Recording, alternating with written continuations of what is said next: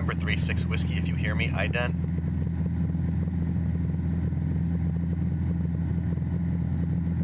November 3-6 Whiskey, ident. It's extremely difficult to fight fatigue while driving or flying. Stop somewhere as soon as practical and take a nap.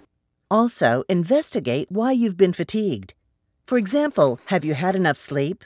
Are you stressed? Or have you recently traveled across time zones?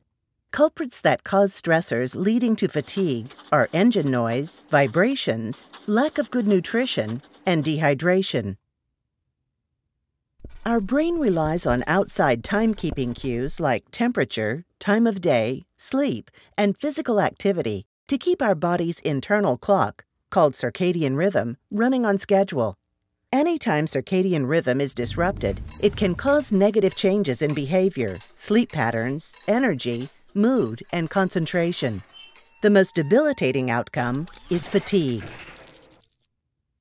Adequate sleep is the best way to prevent or resolve fatigue. A healthy adult gets enough rest and recuperation with 8 hours of uninterrupted sleep. If you're experiencing overwhelming effects of fatigue, take a short power nap of 30 minutes to help refresh your body temporarily. If you're having trouble falling asleep, try this.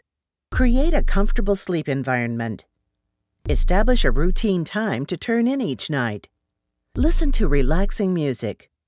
Don't drink alcohol or caffeine three or four hours before sleeping. Don't eat a heavy meal or exercise just before bedtime. And don't use sleeping pills.